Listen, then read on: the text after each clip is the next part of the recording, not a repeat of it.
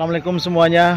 Saat ini saya sudah berada di Masjid uh, Komplek Perumahan PT Arun Batufat, uh, Kota Loksmawe.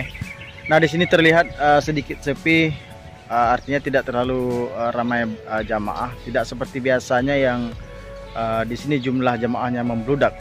Uh, entah ini efek dari uh, instruksi atau himbauan uh, agar tidak sering uh, di keramaian atau tidak sholat berjemaah uh, saya juga tidak tahu. Yang pastinya sholat jumat harus dilaksanakan karena hanya bisa dilakukan di masjid